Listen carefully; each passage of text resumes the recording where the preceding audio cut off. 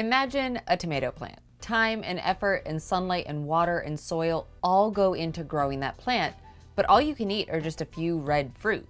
What if there was a way to turn the rest of that plant into something edible too? This video is the first in a series about food, biology, and eating, all focused on the central idea of what's in your food. Today's episode is all about a future technology that could turn everything from wood to grass clippings to plastic into something edible, and it's in collaboration with Merck KGaA Darmstadt, Germany.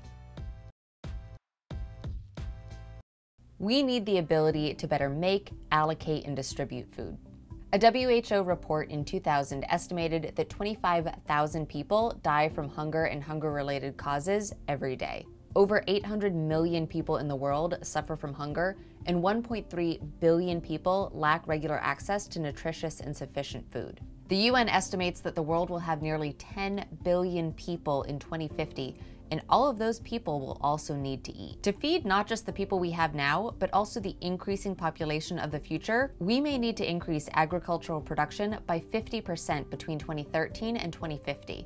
Now, one possible way to do this is to shift diets towards ones that favor vegetables more than meat. A 2016 study showed that in general, the amount of people an individual piece of land could feed was higher for diets that relied more on plants than for those that relied more on meats. But another possibility would be to get more edible product out of what we're already growing. So let's go back to that tomato plant. You can eat the tomatoes, but there's so much unused biomass there. The leaves, the stems, the roots, that all takes resources and solar energy to make, but you can't eat it in the end. Usually, we can't eat that biomass because it contains things we can't break down, like cellulose. Cellulose is a big long polymer molecule made up of lots of sugar rings, and it's what gives plants their shape and structure. Currently, we do sometimes break biomass like this down to make other stuff.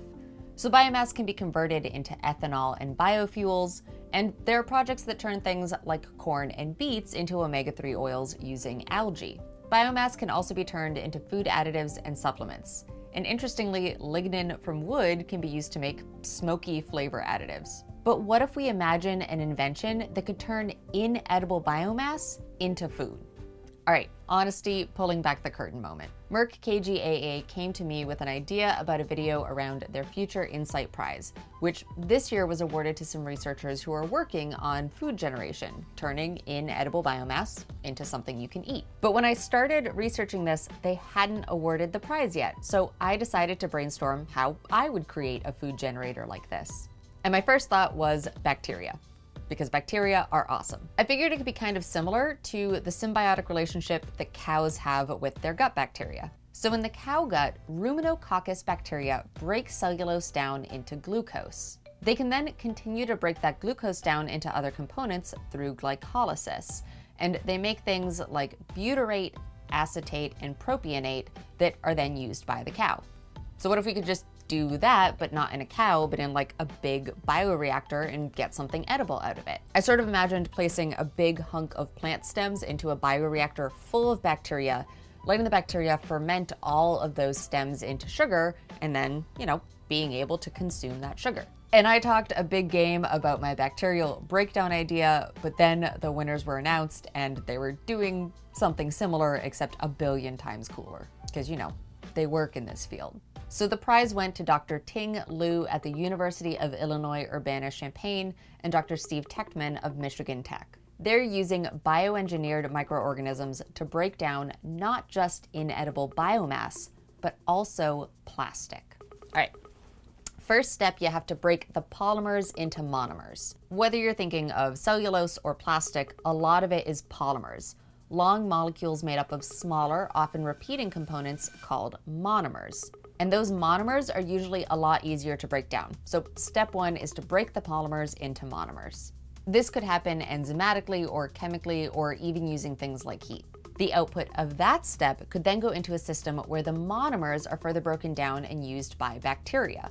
And then you dry the bacteria down and eat it as a protein source. Microbial biomass is approximately 55% protein, so it would be like a protein powder that you could add to a smoothie or bake into something.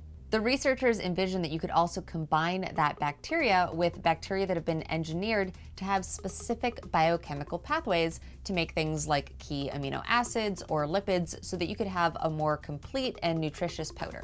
Cellulose and biomass eating bacteria make sense to me.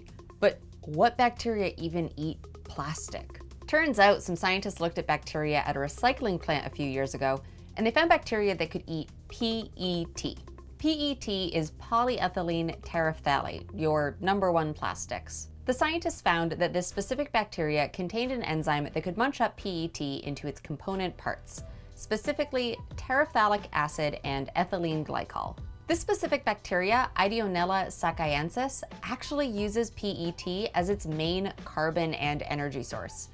That's really cool. It's growing by eating plastic.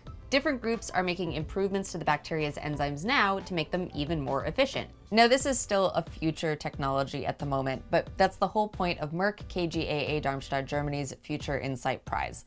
The whole goal is to stimulate innovative solutions to some of humanity's greatest problems. And their plan is to give out a million euros a year for the next 35 years. It's not bad. The money goes to researchers and groups working in important fields, like food generation in 2021, multi-drug resistance in 2020, and pandemic prevention in 2019. So these are clearly really pressing important topics. Next year's prize is going to be around converting carbon dioxide into fuels. You can find out more about the prize and about this year's winning project by visiting the link in the description below. And remember, this is the first in a series of food videos coming out right here on this channel this summer. Next up is a story about some really, really expensive peanut butter. This isn't it, um, and the scientist in the next video specifically told me I could not eat the very expensive peanut butter. Or, I mean, I could, but she did not recommend it. But subscribe to make sure you don't miss it, and until then, go forth, do science, and have a snack.